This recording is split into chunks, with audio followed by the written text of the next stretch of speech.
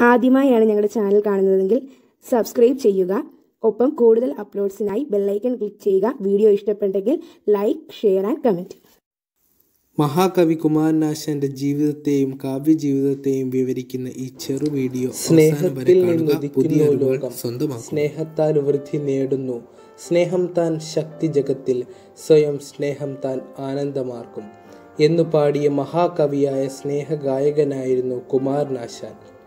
മഹാകവിയാകാൻ മഹാകാവ്യം എഴുതേണ്ട എന്ന് ആശാൻ തന്റെ സർഗപ്രപഞ്ച വൈഭവത്താൽ ലോകത്തിന് മനസ്സിലാക്കി കൊടുത്തു. തന്റെ അതിവിശിഷ്ടങ്ങളായ കൃതികളിലൂടെ പുകൾപ്പെട്ട ആശാന്റെ പ്രാഗൽഭ്യം ഇന്നും വിസ്മയമായി നിലകൊള്ളുന്നു. തിരുവനന്തപുരം ജില്ലയിൽ ചിറയങ്കീഴ് താലൂക്കിലെ കായ്ക്കര ഗ്രാമത്തിൽ ആയിരത്തി എണ്ണൂറ്റി എഴുപത്തി മൂന്ന് ഏപ്രിൽ പന്ത്രണ്ടിനാണ് അദ്ദേഹം ജനിച്ചത്. കൊച്ചുപെണ്ണ് എന്ന് പേരിൽ അറിയപ്പെട്ട കാളിയമ്മയുടെയും നാരായണന്റെയും മകനായി പിറന്ന ആശാൻ ഏഴാം വയസ്സിൽ വിദ്യാഭ്യാസം ആരംഭിച്ചു. സംസ്കൃത വിദ്യാഭ്യാസത്തിന്റെ മേന്മയിൽ ആശാൻ പതിനഞ്ചാം വയസ്സിൽ അധ്യാപകനായി. അങ്ങനെയാണ് ആശാൻ എന്ന പേരിൽ അറിയപ്പെടാൻ തുടങ്ങിയത്. ആശാന്റെ ബാല്യം കായിക്കരയിലെ കടലിനോട് ചേർന്നതായിരുന്നു. ആ കടലിന്റെ ഓളങ്ങളിൽ ധീരനായ ആ ബാലൻ തിരമാലകളെ എതിരിട്ട് നീന്തി തുടിച്ചു. തൊമ്മാൻ വിളകാത്ത് വീട്ടിലെ കുമാരൻ കടൽ ചുഴിയിൽപ്പെട്ട പലരെയും രക്ഷിച്ചു കരയ്ക്കെത്തിച്ചു. പിന്നീട് ആ യുവാവ് കായിക്കരയെയും മലയാളക്കരയെയും കടന്ന് കാവ്യലോകത്തെ ചക്രവർത്തിയായി തീർന്നു. ലോകക്ഷേമത്തിനായും ജനനന്മയ്ക്കായും ആയുസൊഴിഞ്ഞു വെച്ച നാരായണ ഗുരുവിന്റെ ആശയങ്ങളിൽ ആശാൻ ആകൃഷ്ടനായി. അധ്യാപക വൃത്തി ഉപേക്ഷിച്ച് സംസ്കൃതത്തിന്റെ ഉള്ളറകൾ അറിയാനായി ആശാൻ പഠനം തുടങ്ങി.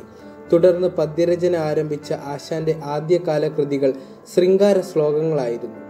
നാരായണ ഗുരുവുമായുള്ള കൂടിക്കാഴ്ചയും അദ്ദേഹത്തിന്റെ ശിഷ്യത്വം സ്വീകരിക്കുകയും ചെയ്തതോടെ കുമാരനാശന്റെ വ്യക്തിജീവിതത്തിലും സാഹിത്യ വിശ്വാസങ്ങളിലും സാമൂഹ്യ പ്രവർത്തനങ്ങളിലുമെല്ലാം അത് സ്വാധീനം ചെലുത്തി.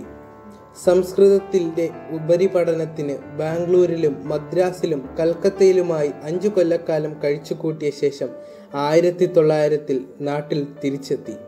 ആയിരത്തി തൊള്ളായിരത്തി രണ്ടിൽ എസ് എൻ ഡി പി യോഗം സ്ഥാപിതമായി. യോഗത്തിന്റെ ആദ്യ ജനറൽ സെക്രട്ടറി ആശാനായിരുന്നു.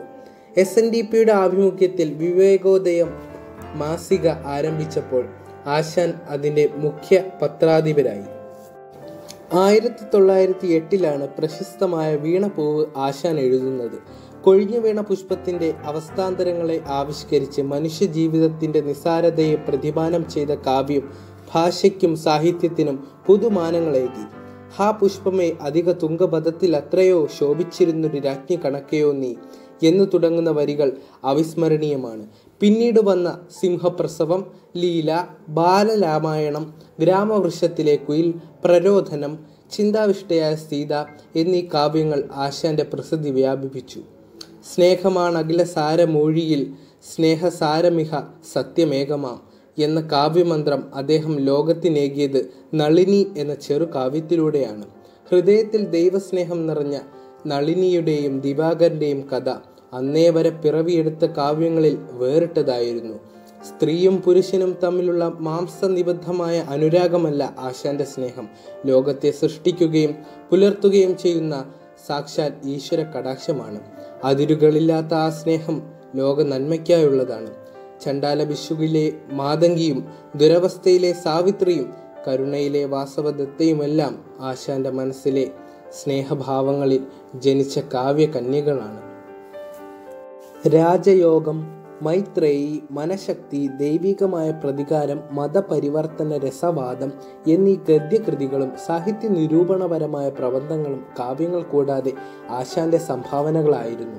ജാതി വ്യവസ്ഥയും അതേ സംബന്ധിച്ച അസമത്വങ്ങളെയും തുറന്നെഴുതാൻ എഴുത്തുകാർ മടിച്ച കാലത്ത് ആശാൻ ധീരതയോടെ ആ ഉച്ച നീചത്വങ്ങളെക്കുറിച്ച് എഴുതി. ചണ്ടാല ബിശുഗി എന്ന കൃതിയിലൂടെ ആശാൻ തത്വചിന്താപരമായി അസമത്വങ്ങളെ എതിർത്തു. മലബാർ കലാപത്തിന്റെ ഭീകരതയുടെ പശ്ചാത്തലത്തിൽ രചിച്ച ദുരവസ്ഥ എന്നാൽ ശക്തമായ ഭാഷയിൽ തന്നെ നവോത്ഥാനത്തിന്റെ പൊരുൾ അരുൾ ചെയ്തു. സാവിത്രി അന്തർജനത്തിന്റെ അതിജീവനവും ചാത്തൻ എന്ന ചെറുമനുമായുള്ള സ്വയംവരവും വിപ്ലവാത്മകമായ ചലനങ്ങൾ സൃഷ്ടിച്ചു. ആശാനിലൂടെ ഭാഷയുടെ മൂർച്ച അറിയുകയായിരുന്നു പൊതുസമൂഹം. ആയിരത്തി തൊള്ളായിരത്തി ഇരുപത്തിരണ്ടിൽ മദ്രാസിൽ വെച്ച് വെയിൽസ് രാജകുമാരൻ ആശാന് സർവവിശിഷ്ടമായ പട്ടും വളയും സമ്മാനിച്ചു. ആയിരത്തി തൊള്ളായിരത്തി ഇരുപത്തിനാല് ജനുവരി പതിനാറാം തീയതി പല്ലനയാറ്റിൽ രക്ഷകൻ എന്ന് അർത്ഥം വരുന്ന റെഡീമർ എന്ന് പേരുള്ള ബോട്ട് മുങ്ങി.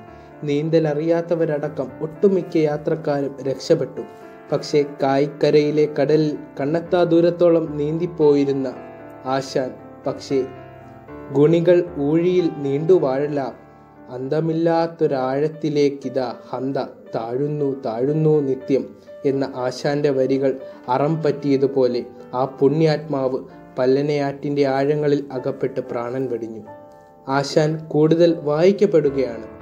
ഇന്നും മാറാതെ തുടരുന്ന ദുരവസ്ഥകൾക്കും സാമൂഹിക വ്യവസ്ഥിതികൾക്കുമെതിരെ ആ വചനങ്ങൾ മാറ്റുലി കൊള്ളുന്നു. മാറ്റുവിൻ ചട്ടങ്ങളെ സ്വയം അതല്ലെങ്കിൽ മാറ്റുമതുകളി നിങ്ങളെത്താൻ.